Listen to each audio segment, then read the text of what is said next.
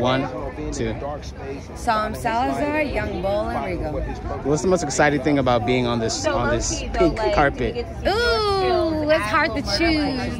Looking fabulous. I like looking dolled up. I've never been this glamorous in my life, so that could probably be the most exciting part. And tell everybody in our audience about your breakout role in one of our favorite shows. You want I want us to tell you about it. How can I say it in the most simplest form? Um, I've been out in, I'm from Texas, Southeast Texas, 409 represent. What's up? I've been out here for almost five years now.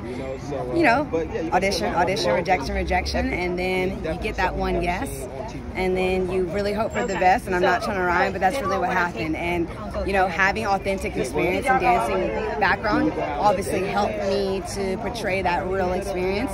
And uh, I'm just so grateful that I'm able to tell this story and to show light and explode the world and the, ex- the sex industry for people to know it's, you know, we're normal people.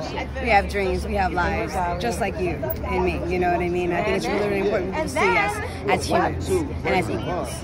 You know? Finally, where can people find you on social media? Um, hold on, what's my Instagram? Psalms, P S A L M S. Salazar, S A L A Z A R. That's my Instagram. Thank you. Thank you.